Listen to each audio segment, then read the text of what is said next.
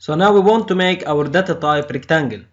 It has two members, they are both points and the first one is the upper point and the second one is the lower left point. So we're going to keep track of a rectangle using these two points. Let me show you an example. Consider this rectangle over here. In order to keep track of this rectangle, we will take this point, this is the upper right point and this is the lower left point. Also, if you have a rectangle like this, we will take the upper right and this the lower left. And using only these two points, we can keep track of these two rectangles, okay? Now, let's define our structure. I already made the header file and the C file, okay? I called them rectangle as you can see. Now, in the header file, we will put our structure. So, type def, want to make a struct, and let's call it rectangle, like this, okay? So, rect. Now, over here, we have our two members. So the first member, let's call it upper right. Okay, and this should be a point. So I'm going to use the point type over here. So this is a struct inside another struct. And the second member is called the lower left. So let's do it like this. Lower left. Now we have our two points. But you may be asking, how can this file over here reach the point structure? Let's go to our main. And over here, we are including our normal header files and also we are including the point. So let me build this program and as you can see let's open the logs, zero errors, zero warnings. Now let's try to include our rectangle. So include rectangle like this. Okay. Now try to build the program and also no errors and no warnings. But what if we try to include the point after the rectangle? Okay. So now build the program and as you can see we have an error and this error is unknown type name point.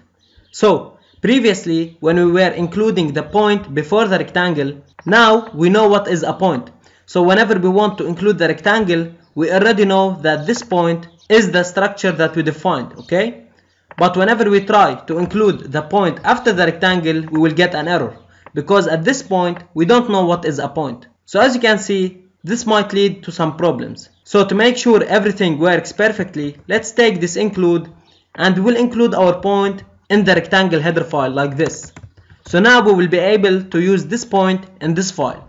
So even if we include the rectangle before the point, we will get no errors. So try to build the program, open the logs, zero errors and zero warnings.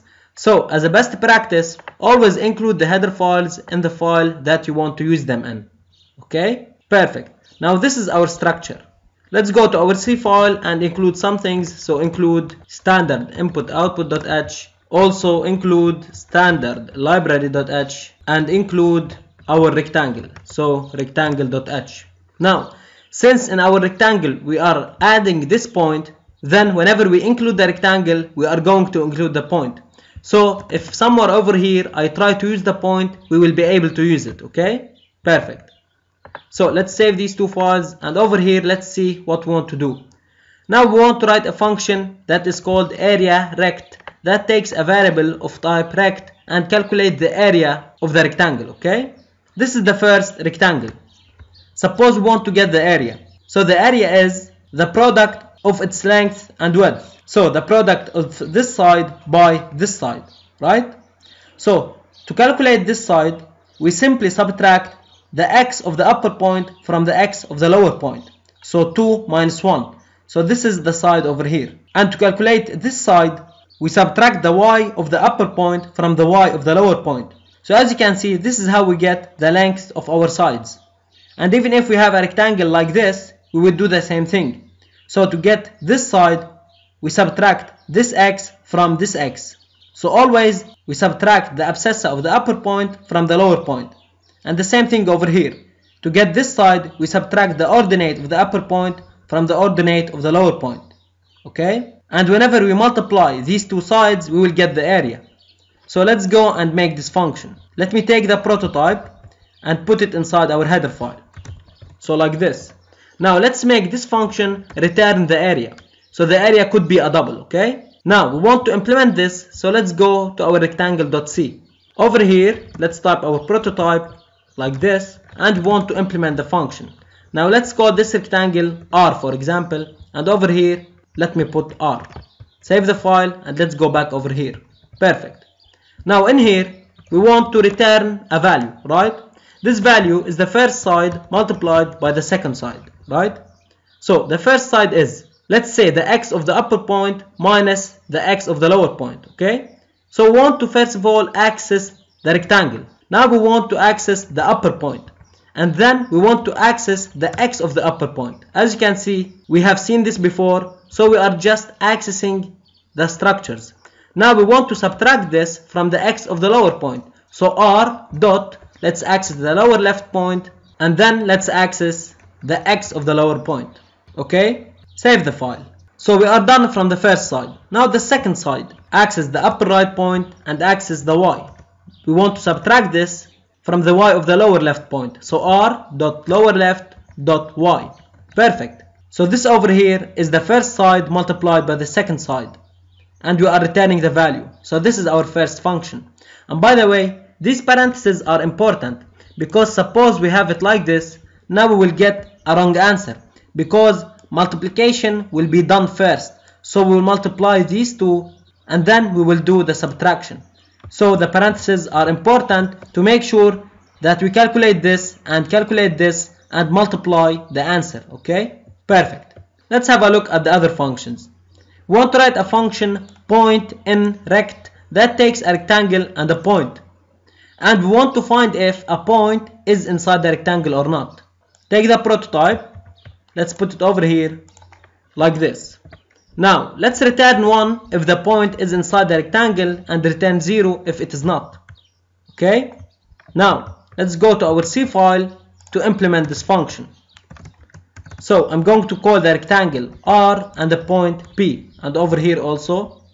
So R and P. Save the file and let's go. Let me show you this photo. And by the way, I drew these photos using paint, so if they look ugly, it's okay. We just want to get the idea. Now, suppose this point is inside the rectangle, okay? So we need to make sure that this point x is between these two values and this point y is between these two values. So this point over here will be between these two sides and also between these two sides. So all we have to do is to make sure the x of the point is greater than the x of the lower left point and less than the x of the upper right point. Also, we need to make sure that the y of the point is lower than the y of the upper right point and greater than the y of the lower left point. Okay? So let's do this. We want to return a condition. Okay? And we will return it as an integer, true or false. So let's make our first condition. Let's access this point first. So p dot x so we want the x of the point to be greater than the x of the lower left point. So r dot lower left dot x, right? And if we put greater than or equal here, if we have a point on the boundary, we will consider it inside the rectangle. Okay? Now, we also need one more thing. The x should be greater than the lower left x and should be less than the upper left x. So p dot x is less than or equal to r dot upper right dot x. Perfect. Now this is our first condition. We have a second condition. Now over here we want the ordinate of our x to be greater than or equal to the ordinate of the lower left point. So p dot y is greater than or equal to r dot lower left dot y. And the ordinate should be less than or equal to the ordinate of the upper right point so r dot upper right dot y now we are testing this condition and we are returning. So if this condition is true, this means that the point is inside the rectangle and we will return 1 because this will be true. So this is what we want. And if this is false, this means that the point is not inside the rectangle, so we will return false, which is 0. And this is what we want. Perfect. And by the way, these parentheses over here are optional. We can remove them. But in order to make the code look a little bit clearer, I put them. Alright? Now, let's see what we have left. We have this function rectangle and rectangle that it checks if the rectangle is completely inside the other. So let me take the prototype, also put it over here and let's make this function also return an integer. So 1 if the rectangle is inside the other and 0 if it is not. Let's call the first rectangle R1 and let's call the second rectangle R2. Okay. Now let's have a look at this photo a rectangle will be inside another rectangle so for example look at the big black rectangle and look at the blue rectangle. The blue rectangle is inside the big black rectangle because this point over here and this point over here are inside the big rectangle, right? Another example, look at the blue rectangle and this rectangle over here. So this rectangle is inside the blue one because these two points are inside the blue one. And also this small one over here is inside the big black one because these two points also are inside this rectangle. So basically we will use this function point in rectangle and we will check if the lower left and the upper right points are inside the rectangle. And by the way, this rectangle over here is on the boundary and we are considering it inside the other rectangle. And this is because over here we put or equal. Perfect. So we have our prototype and now let's implement the function. So we also want to return a condition. So let's return and want to return something. Let's consider that we want to check if R2 is inside R1. So we need to make sure that the lower left point and the upper right point of R2 are inside R1. So let's use this function. We will return something like this. So point and rectangle. First of all, the rectangle that I want to check if the point is inside is R1, right? And the point that I want to check it is R2 dot lower left. And also I want to check the upper right. So the same code over here we want to check inside R1 if R2 dot upper right is inside. Perfect. So this is our solution. Let's have a look.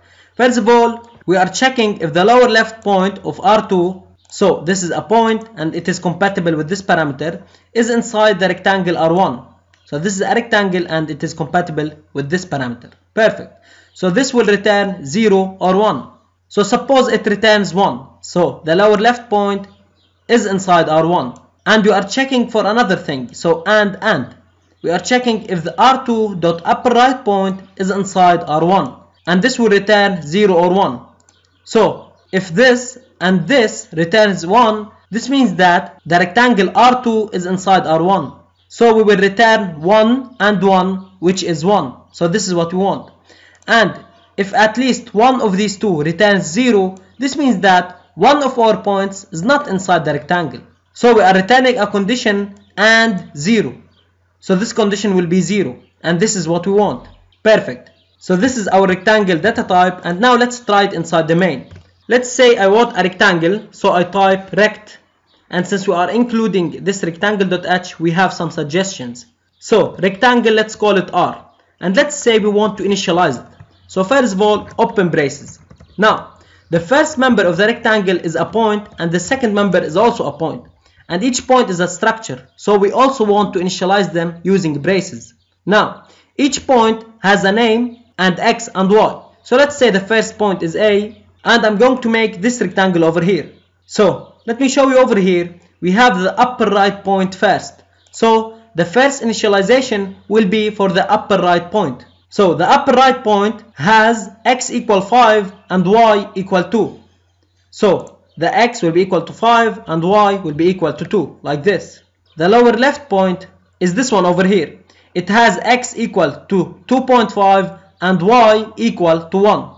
So let's call it b for example. It has x equal 2.5 and y equal 1. Perfect. So this is our rectangle. Let's build the program. And as you can see zero errors. And we have one warning that we are not using this variable. Okay? So this is not a problem. Now let's calculate the area of this rectangle. So printf we want a double. And we want area rectangle. And this takes a rectangle. So we give it r now build and run the program as you can see the area is 2.5 so let's see this x minus this x gives us 2.5 and this is our first side so 5 minus 2.5 now this will be multiplied by this side which is 2 minus 1.